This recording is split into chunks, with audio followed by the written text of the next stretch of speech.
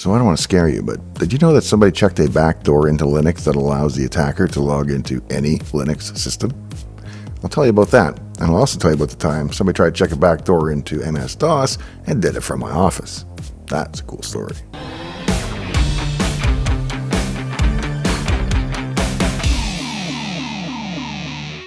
Hey, I'm Dave. Welcome to my shop.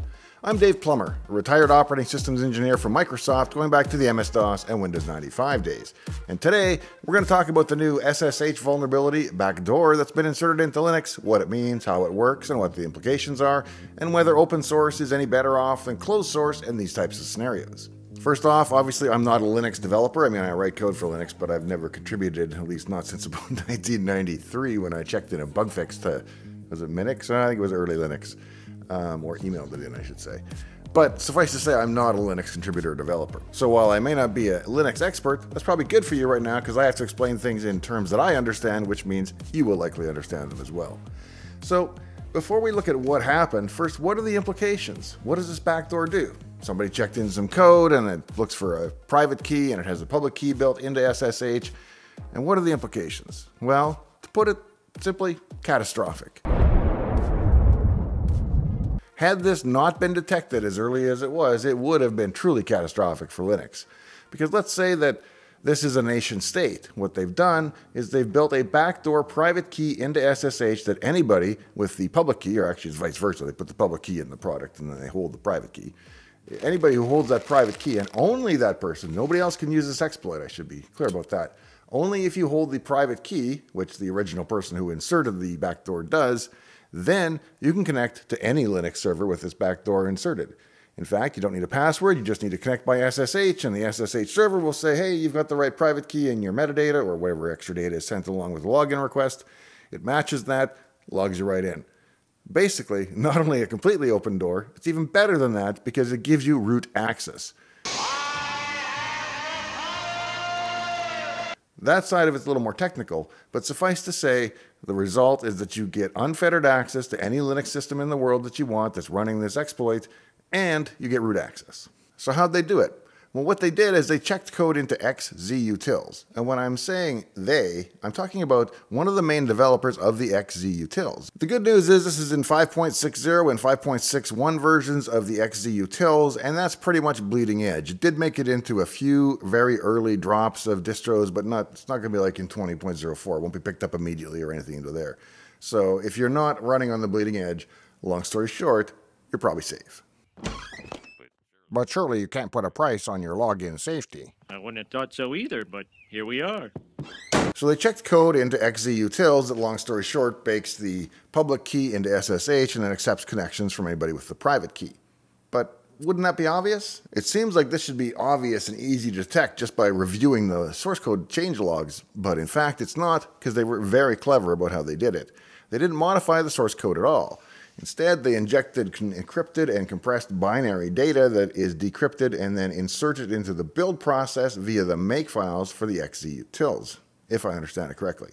But this means there's no changes to the code, so anybody reviewing the source code changes doesn't see any change. And who reads makefile changes? I mean, they're pretty obtuse and opaque to begin with, and if you have any idea what a makefile is doing, it's either a simple makefile or you're having a really good day because a lot of makefiles are pretty complex and hard to follow once you get to a certain complexity of a project. So at this point, we've got a backdoor in the Linux source code, and all we have to do, or all they have to do, is wait for it to be propagated throughout all the builds and distros and trickle down to everybody. And if it doesn't get caught before that, boom! Hey, by the way, one thing I've noticed lately on YouTube is that people are like, bang, ending their videos immediately. And I guess this must appease the algorithm in some way. So I'm going to do that today, which means if I'm going to tell you the stuff that I tell you at the end of every episode, I have to tell you now like halfway through. So here it is. I'm mostly in this for the subs and likes, so if you are finding today's episode to be any combination of informative or entertaining, please leave me one of each before you go today. And if you or anybody you know is on the spectrum, then please check out the free sample of my book on Amazon, where I tell you everything I know about autism that I wish I'd known way back then. So who caught it? Microsoft. Well, not really Microsoft guy that works for Microsoft also happens to do benchmarking and so on on the Postgres database. And he was running his tests and he noticed that the SSH logins were taking a lot longer than they used to. And that this happened all of a sudden. So he dug into it, and he's the hero that found the information and the back door and published it and let us all know about it. So, had it not been for that, this would have likely been uncaught. Now, of course, this prompts the bigger question of which is more protective against this type of backdoor an open source system or a closed source system. And I'd say in this case, the source code actually isn't all that relevant. Of course, it's open, but so is the makefile. Was anybody really scrutinizing the makefile? And if they had, would they have caught it if they looked at it carefully? Well, nobody, even at Microsoft, is probably hand reviewing and scrutinizing the makefile build code changes unless they cause a problem. If they slow things down, they're going to take a look at it. But if you make changes to the makefile and the binary pops out then everything is cool, it's probably not going to get that much scrutiny, unlike a change to the actual source code that's going to go through several layers of review and approval. And again, I've been gone from Microsoft 20 years, so I'm talking about how we did it back 20 years ago, which was probably pretty sloppy and lazy and horrible compared to what they're doing now. But here's the beauty of a regimental commercial release. With something like Windows NT, you don't just check in code and then wait for it to show up in the build. It goes through a lot of processes in between. First, there's a build lab that picks up just your change, builds your change independently, builds a build with your change, kicks that out, and it goes through basic build. And when all the changes are collected for the day, that build will go through BVTs or basic verification tests. And that's going to check to make sure that all the normal stuff works, the smoke tests pass the build, boots does everything correctly, and that the performance is not seriously degraded from previous builds. And that's how it would have been caught early at Microsoft because the significant impact to the login chain would have caused the regression in WinLogon if it were, you know, the equivalent component in Windows, and that would have been detected immediately. Now, that's not to say that every such change would be. So it's not a golden guarantee or anything. But the fact that any change to the product goes through both human manual review of the textual changes to the source code and then through a bunch of verification tests and benchmarks and several other verification tests that make sure the functionality and the performance hasn't regressed, that catches a lot of things. It still won't catch everything. Be clear on that. So there is no panacea. Now, the other thing is when you're checking into code, say I'm checking into the heap manager. Well, the guy who write, wrote the heap manager and the person who maintains the heap manager is going to very carefully check my changes. When you get something like xzutils, I think there was only two people working on it. So did the other person really vet these changes very carefully, or did Linus, you know, get out his computer and check every line? I doubt that. So who is actually vetting these changes as they go into the build? And the answer is I don't know because I'm not involved in that process. So I can't really speak to what goes on behind the scenes in Linux. I can only tell you what used to happen in Windows, how you extrapolate that forward and assume they're more careful now, and the protective aspects of that. Now, the difference is if it's in a part of Linux that a lot of people care about, a lot of people are going to look at it. But if it's in a part of Linux that a lot of people don't care about, like xzutils, then it's probably not going to get the scrutiny that it deserves, especially when you see the implications of how this change manifests. So, now, a bit of my own backdoor stories.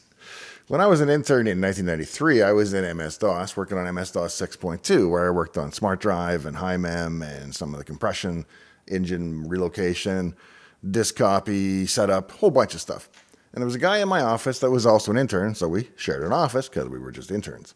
And he decided that he was working, I believe, on the copy command, and he took the opportunity to check not a back door per se, but a special command line switch. So instead of, you know how with xcopy slash s will do folders? Well, with copy, he added it so that slash heart, which is like ASCII 254, I forget the actual OEM code page at this moment, but whatever it was, he used a special graphic character and he made that a command line switch and it would just print I love sex over and over and over and over and over. And it would print that out. I didn't know anything about this. And then after I'm done my internship, I get a call from my manager at the time who calls me at home and says, Yeah, so what did you know about this? And the answer was, I knew nothing.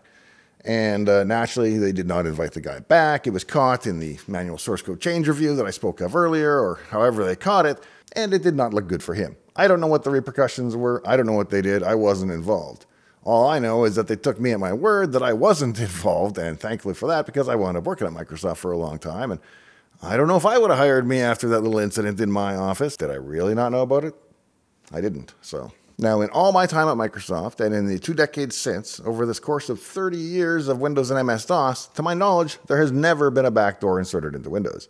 Now, it's possible that one has, and it's just never been found, but I would assume that by now there would be some exploit that would take advantage of it. Is that diligence, process, superior coding, or pure luck? Well, I'm going to guess a lot of it's luck, but a lot of it is process. Doesn't mean the developers are any smarter. It does mean that people have day jobs where they are assigned to look at code changes in other people's products, whether they want to or not, and they are responsible for anything that happens as a result of those changes, and that makes people pretty honest. And as for the people that aren't honest, there are processes and checks and balances to make sure they don't do a lot of harm. Thanks for joining me. See ya.